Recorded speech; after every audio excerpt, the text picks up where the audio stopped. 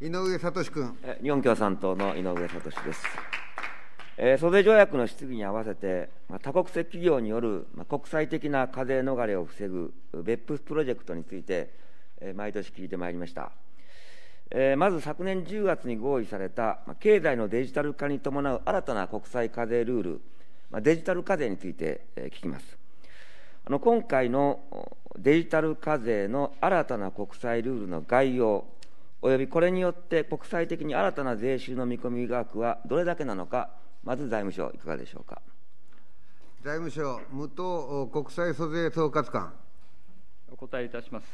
OECD G20 の BEPS 包摂的枠組みにおきまして、昨年10月、経済のデジタル化に伴う課税上の対応として、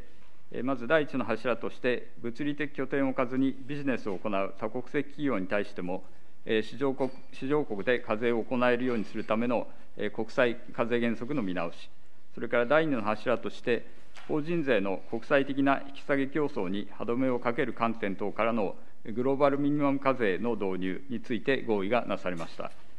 この合意の実施に向けて、現在、詳細なルールや多国籍多国間条約の策定に向けた国際的な議論が進んでおります。日本政府としましては、引き続き国際的な議論に積極的に貢献するとともに、今後の議論の進展を踏まえつつ、令和5年度以降の税制改正における国内法の整備に向けて検討を行ってまいりたいと考えております。第1の柱、第2の柱による税収への影響につきましては、昨年10月に OECD が発表した試算では、第1の柱により市場国に配分される利益は年間1250億米ドル超であり、第2の柱に第2の柱により、世界的に生じる追加的な税収は年間1500億米ドルとされておりますが、この試算はあくまでもその時点で議論されていた制度設計を前提に、一定の過程を置いて機械的に全世界としての税収を算出したものと承知しており、その詳細は把握しておりませんことから、日本政府として税収への影響について、確たることは申し上げられないと考えております。また、その後、制度設計の詳細に関する議論を踏まえた試算は行われていないものと承知しております井上聡君。まあ、今回の新たな国際課税ルールは、まあ、歴史的に画期的と評価もされております。まあ、一つはですね、国際連盟が成立以来100年間構築されてきた、まあ、国際課税システムからの歴史的転換だと。あの恒久的施設、まあ、PE なしに課税なしというこれまでの大原則からの転換であり、この租税の課税の権の配分の基準を転換をしたこと、もう一つはですね、やっぱ国家主権の先決事項とされていた課税権に対して、まあ、国際社会によって提起をされた租税ルールが各国税制を制約する存在として台頭してきたということが言われております。まあ、これまでの課税ルールはもっぱら OECD だけで検討されてきましたけど、今回はですね、130を超える国の参画と合意が得られました。そのことの意義およびこの多くの国が参画合意するに至った背景についてどうお考えでしょうか？えー、財務省、武藤国際租税総括官。お答え申し上げます。えー、日本政府は BEPS プロジェクトの立ち上げ時から、国際課税改革に関する議論を一貫して主導してきたところでございまして、委員ご指摘のとおり、100年近くにわたり築き上げられてきた国際課税原則の見直しが、今般、グローバルな枠組みでえー、合意されたことを高く評価しております。えー、このように多くの国が合意するに至った、えー、背景として、えー、約140か国が参加する、えー、別包摂的枠組みにおきまして、経済のデジタル化に伴う課税上の課題について、えー、各国で問題意識を十分に協議共有し、えー、その対応について、えー、十分に検討してきた成果であると考えております。井上聡君。先ほどありまして、今後実施に向けて多国間条約や国内法整備もあるわけでありますが、着実に進めていただきたいと思います。同時に、まあ、今回の合意については、対象企業が狭すぎるんではないかとか、まあ、最低税率が低すぎるという意見もありました。まあ、そういうことも踏まえてですね、今後さらに実効性あるものにするための努力を政府に求めたいと思います。あの今回、合意に至る最終段階で、このコロナパンデミックになりました。先ほどありましたように新たな税収が増えるということは、企業の負担増になるわけですが、コロナで国際経済が厳しいときに、そういうことは行うべきでないと、こんな議論で合意が遅れたというような影響はあったんでしょうか？武藤総括官。お答えいたします。経済のデジタル化に伴う課税上の課題への対応につきましては、えー、BEPS 包摂的枠組みにおきまして、過去数年間にわたって、えー、議論が行われてきたところでございます。えー、こうした検討が始まった背景としましては、現在の国際課税ルールが、えー、世界経済の急速なグローバル化、えー、デジタル化に十分対応できていないのではないかという問題意識の高まりに加えまして、リーマンショック等を契機とした世界的な経済危機により、各国の財政事情が悪化したことなどがあったものと考えております。また、これに加えまして、委員ご指摘の、新型コロナウイルス感染症の、感染拡大によりまして、各国で、多額の、財政需要が生じたことも、昨年10月の合意に至った背景の一つだというふうに認識をしております。井上聡君。つまりあの、コロナパデパンデミックというものがですね、むしろこのデジタル課税を推進をしていく、まあ、いわばあの追い風になったということだと思うんですね。えー、そこで外務大臣にお聞きしますが、このコロナパンデミックは、この SDGs の柱の一つである保健福祉分野で掲げられた、まあ、感染症対策や途上国支援、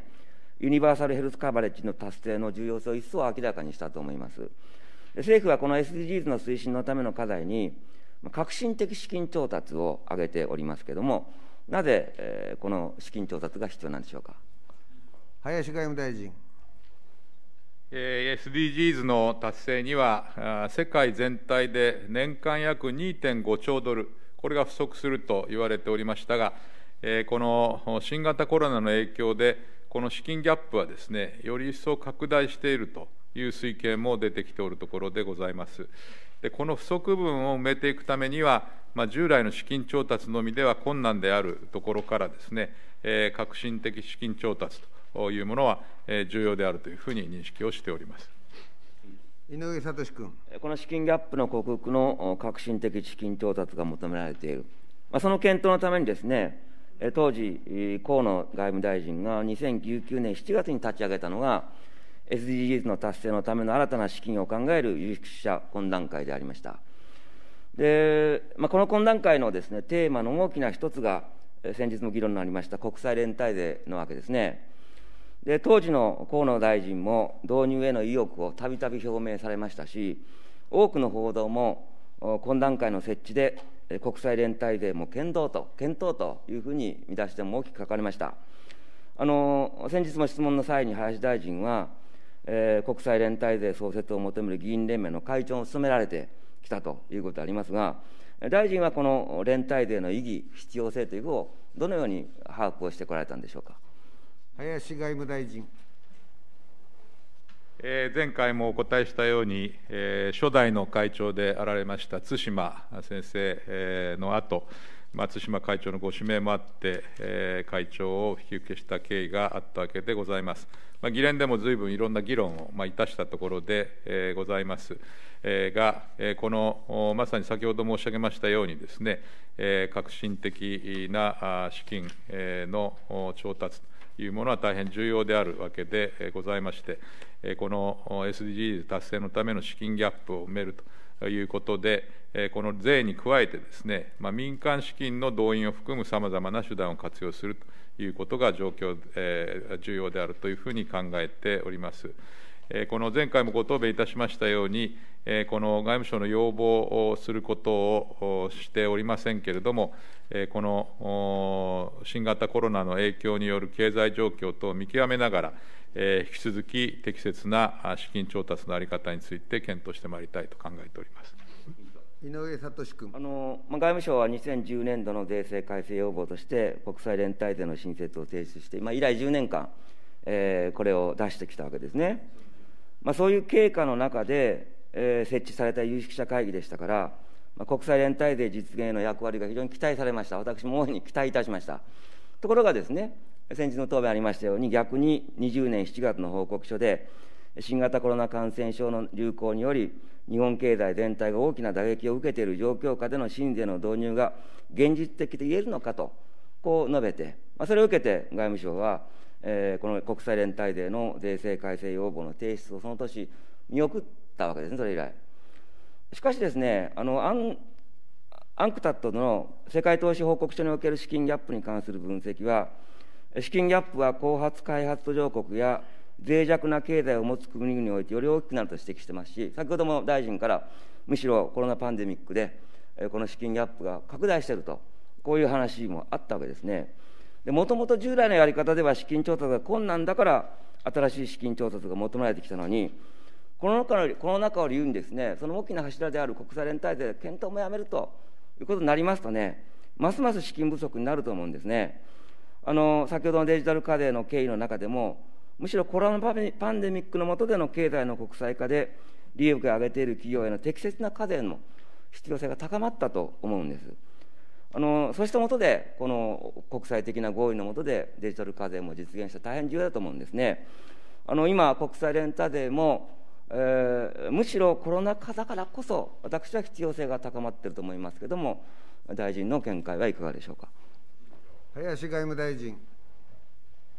この国際連帯税につきましては、この平成22年度から税制改正予防を行ってきたところでございましたが、制度の具体化には至らなかったところでございます。で先ほどお触れになっていただきました有識者懇談会でございますが、えー、まさにこの20年の7月に提出した報告書に、えー、新型コロナ感染症の流行によって、まあ、日本経済全体が大きな打撃を受けている状況下での、まあ、新税の導入が現実実的といえるかという指摘がなされておりまして、まあ、この提言に踏まえてですね、まあ、令和3年度および令和4年度税制改正要望においては、え、提出を見送っておるところで、え、ございます。一方で、冒頭にお答えしたようにですね、この SDGs の達成のための資金のこの不足分についてですね、埋めていくためには、革新的資金調達は重要であるとこう認識しておりますので、外務省として引き続き適切なですね資金調達の在り方について検討してまいりたいと考えております。井上聡君あの2019年5月の ODA 特で、チカットに向けた決議を全会一致で挙げてるんですね。この中で SDGs 達成に向けて、国際連帯税等の革新的資金調達メカニズムの検討において、えー、我が国が議長国を務める G20 や開発のための革新的資金調達に関するリーディンググループの機会も活用し、議論が行えるように努めることと、こうしております。これはもう全会一致で、与野党一致で挙げた決議なわけですね。でこうした流れに沿った議論があの期待された有識者会議だったのに、えー、先ほど申し上げたようなちょっと違う結論になってしまったと、逆になったと。実はこの有識者会議の最後の段階で、メンバーであったグローバル連帯税フォーラム代表理事の田中哲司さん、辞任されてるんですね。で彼はですね、ブログの中で、率直に言って9月に外務大臣が変わる前後から、懇談会の性格が変わった。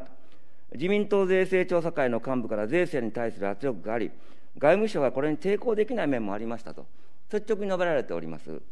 まあ、外務大臣は変わったと、まあ、誰かとは言いませんが、えー、茂木大臣ですよね。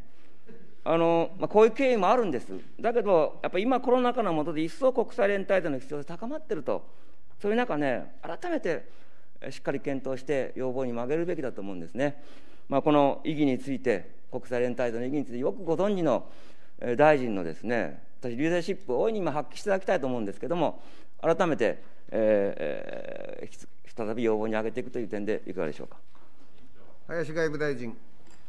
この有識者懇談会はですね、このその報告書でですね、出入国時の課税は、新型コロナウイルスの流行により、国際航空事業が危機を迎えている状況を考慮する必要があるとかですね、えこのいろんなことについて、え提言をしておるわけでございますが、え先ほど申し上げましたように、まあ、現在のこのコロナ禍の状況、現在というのはこれ20年でございますので、えあくまでその時点での判断と、こういうことで、えございますので、え冒頭申し上げましたような革新的資金調達の必要性、というのは重要であるという認識が変わっておりませんので、状況も踏まえながらですね、しっかり検討してまいりたいと考えております。